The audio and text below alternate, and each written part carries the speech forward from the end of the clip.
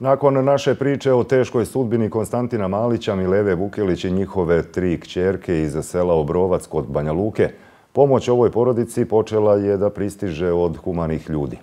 Humanom podvigu priključili su se i svi pripadnici policijske uprave Banja Luka. Prije mjesec dana posjetili smo Konstantina i Milevu, koji su sa tri kćerke skromno živjeli od svog rada sve do 2014. godine. Tada Konstantinu je amputirana noga, a Milevi ljekari su otkrili karcinom dojke koji vrlo brzo metastazira na kičmu i pluća. Nakon naše priče o teškoj sudbini ove porodice pomogli su i mnogi, a danas i pripadnici policijske uprave Banja Luka.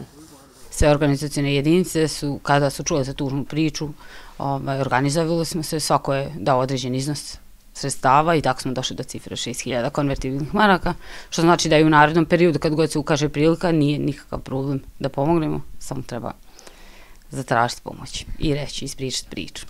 Da su pripadnici policijske uprave Banja Luka još jednom pokazali i dokazali da su uvijek u službi građana mišljenja je Konstantin. Ipak ovaj vid pomoći kaže ni u snu nije mogao očekivati puno će nam značiti u svakom obliku, to jest prvenstveno u obliku liječenja, u obrazovanju djece, pa i u izgradnji te kuće koju smo zamislili da gradimo. Upravo trošna kuća i nepristupačan prilaz kući otežavaju im život. Zato su humani ljudi za ovu petočlanu porodicu pokrenuli akciju izgradnje nove kuće u Bronzanom Majdanu.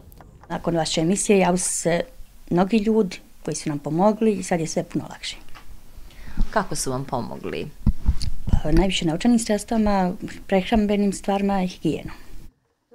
I u narednom periodu dobrodošao je svaki vid pomoći. Svjesni vremena u kojem se nalazi cjelokupno društvo, ovi skromni ljudi unaprijed se zahvaljuju svima koji su u situaciji da im pomognu. I ne zaboravite, naše malo nekom znači mnogo.